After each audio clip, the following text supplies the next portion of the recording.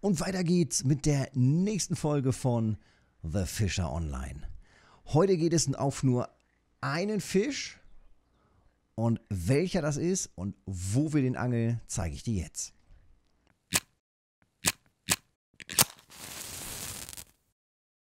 Also, los geht's. Ich befinde mich hier am 12er Gewässer. Ich habe hier die halbe Nacht auch schon durchgeangelt und ich habe den, die Routen ausgerüstet mit einem Einser-Haken und einer ollen Made, beziehungsweise hier mit dem Teigköder. Und das hier ist der Fisch, den wir wollen. Und so sieht er aus. Golden Crucian, die, äh, die Karausche, die ziehen wir hier raus. Die Karauschen fängt man hier super gut.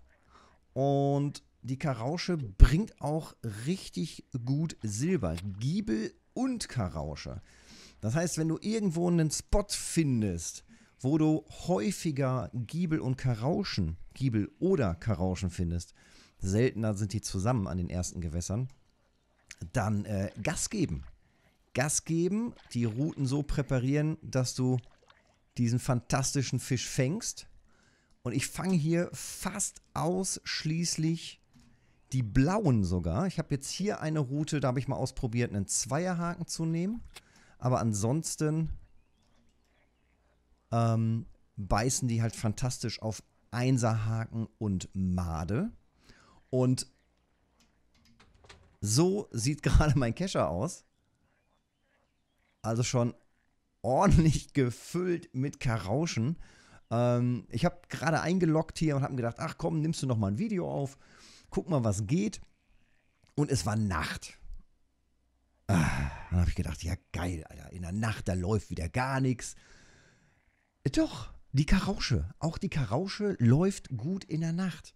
Und gerade wenn man noch ein kleineres Setup hat, äh, läuft das sogar richtig gut.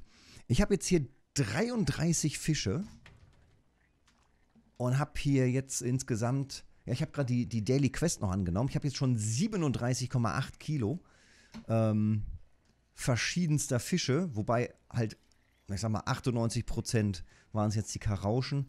Ich habe ähm, eine Quest habe ich schon abgeschlossen mit Rammed, die fängt man auch, also die werden auch gleich wieder wahrscheinlich tagsüber anfangen. Das, ja, das war gerade die Daily abkassiert, jawohl. Ähm, und auch dieser Rammed Fisch, richtig gut. Den fängt man eben auch nebenbei auf Einserhaken und, ähm, und auf Made.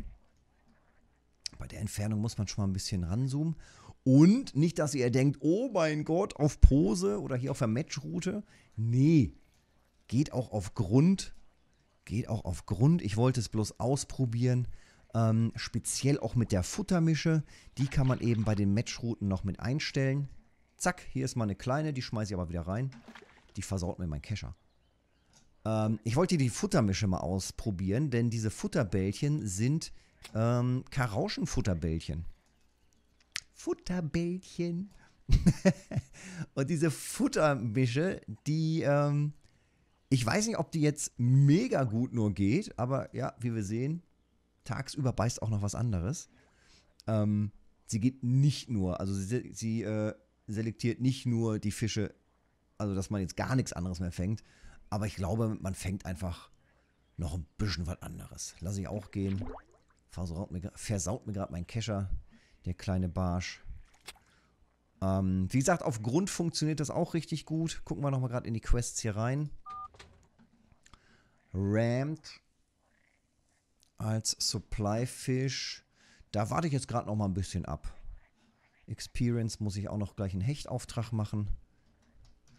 Zwischendurch mal ein bisschen ranzoomen. Also beim Posenangeln immer darauf achten, also entweder liegt die Pose richtig flach auf dem Wasser, dann zuschlagen, oder sie ist regelrecht verschwunden, und zwar für etwas länger als nur mal kurz untergetaucht. Dann einfach anschlagen. Und wenn ihr auf Grund unterwegs seid, dann ist es nochmal einfacher. Oh, da habe ich mich vertan. Das ist die Route hier. Dieses fiese Posenangeln. Also auf Grund ist es eigentlich noch einfacher. Vielleicht baue ich auch gleich einfach mal um. Und dann ziehen wir auf Grund noch ein bisschen hier raus. Aber bisher sieht das echt gut aus. Und ähm, kohlemäßig lohnt es sich auch richtig. Ich nehme noch mal, ich ziehe noch mal eben ein paar Fische raus. Ja, ein paar gehen noch und dann ist der Kescher eh schon voll. Einfach von der Gewichtszahl. Und dann ziehen wir mal Resümee. Ingame-Zeit waren das. Guck mal, der geht gleich runter. Ingame-Zeit waren das. Ja, vier, vier, gleich fünf Stunden Ingame. Für einen vollen Kescher. Ich weiß nicht, ob das vielleicht, ob das vielleicht ähm, auf den Grundrouten besser funktioniert oder schneller. Vielleicht hat man dann fehl, weniger Fehlbisse. Ähm, es ist und es zuppelt vielleicht auch nicht so lange. Also vielleicht sind da, ja, schon wieder verhauen. Vielleicht sind da die Anschläge einfach, ähm, einfach sicherer. Das könnte natürlich helfen. Weil jetzt habe ich auf Route 2 und 3 hier gerade, jetzt habe ich gerade die Fische verscheucht und ich fange halt jetzt nichts. Ne? Das ist dann halt schon ärgerlich. Genau. So, ich habe nochmal eben die Routen gewechselt. Habe jetzt hier einfach nochmal auf Grund alles eingestellt. Habe jetzt hier die Kombination auch noch meine 12er Routen. Die behalte ich ja bis Level 18. Ähm, mit einem 1er Haken Small und hier einmal mit einem Teig.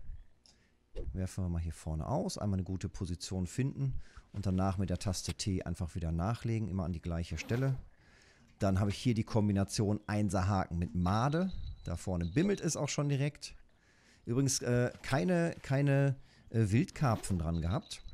Wenn man mit Maiskorn angelt, hat man zwischendurch mal einen Wildkarpfen. Und hier habe ich jetzt einfach mal einen Zweierhaken genommen. Auch mit der Made.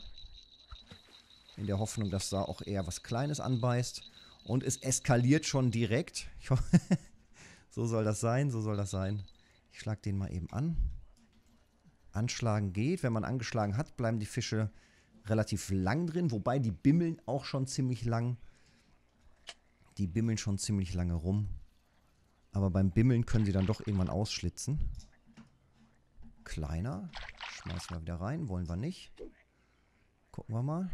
Also beim, beim Posenangeln waren es jetzt, wie gesagt, fast ausschließlich die blauen.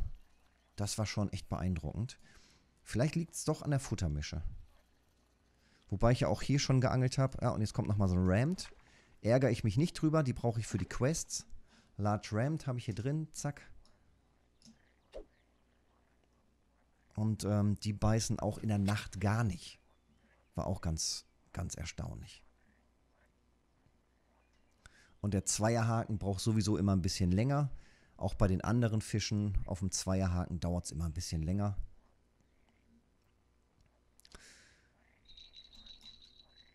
Und da geht es weiter.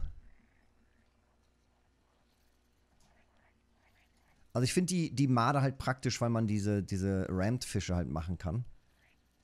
Und äh, es gibt halt so viele Quests dafür. Deswegen lasse ich die Made auch mit dran. Sonst kann man bestimmt auch auf, auf verschiedenen Teigsorten einfach mal rumtesten. Da ist er direkt nochmal. Aber den will ich auch. Der übrigens, auch wenn er blau ist, lohnt sich überhaupt nicht zu verkaufen. Also den tatsächlich entweder zu, zu Köder, äh, äh, zu anderen Ködern verarbeiten oder halt einfach nur für die Quest nehmen. Zack, ab rein in die Quest. Egal ob blau oder grün. Weg. Will man nicht. Ich lasse das jetzt einfach mal hier noch ein bisschen stehen. Das läuft schon. Gucken wir noch mal eben kurz rein, wie viele Fische es jetzt gerade sind. Beziehungsweise was die Fische an Kohle bringen. Ja. Und das sieht doch gar nicht so schlecht aus. Um die 5 Silber für einen so einen Fisch. Heißt 175 Silber, relativ entspannt gerade verdient. 4 Silber 70 bis 6 Silber 17. Das ist schon ziemlich geil. Das ist schon ziemlich geil. Da hinten bimmelt es schon wieder. Richtig geil. Richtig, richtig geil. Ich verkaufe die jetzt. Kratsching. Geil. 5000 Silber jetzt schon drinne. Das heißt, die Angelrolle, die 30er Angelrolle, die so bei dreieinhalb ungefähr lag, die kann ich mir schon leisten. Die äh, Karpfenrolle und die Karpfenroute, die war ja auch 3,7 oder so. Sehr gut, ey. Sehr gut. Das werde ich hier noch ein bisschen weitermachen. Und ähm, wenn du noch einen anderen Spot kennst für Giebel oder für Karauschen, schreib die mal unten in die Kommentare rein.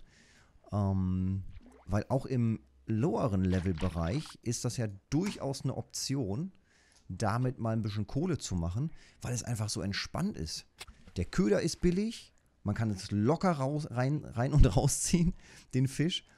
Und ähm, vielleicht sogar auf der Stippe rausziehen.